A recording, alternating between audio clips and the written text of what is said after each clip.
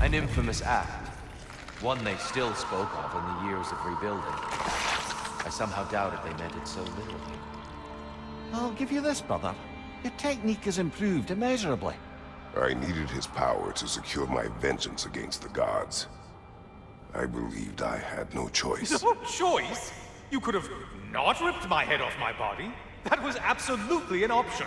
And he's back. But that wasn't the worst of it, was it, Kratos? Killing me deprived Greece of the sun. They were plunged into perpetual cold and darkness. Crops ceased to grow.